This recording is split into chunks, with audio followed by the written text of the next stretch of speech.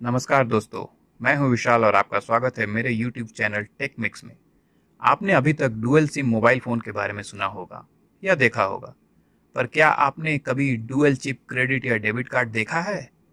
नहीं देखा है ना? चलिए हम आपको दिखाते हैं भारत का पहला dual chip card.